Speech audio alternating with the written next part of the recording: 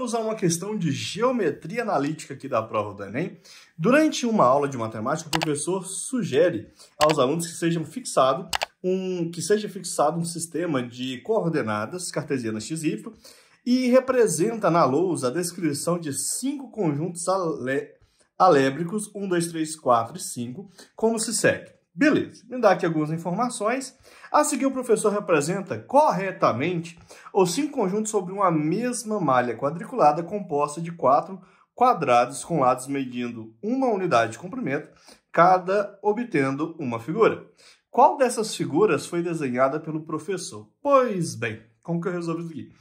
Gente, na geometria analítica, a fórmula aqui da circunferência é x ao quadrado mais y ao quadrado igual ao raio ao quadrado.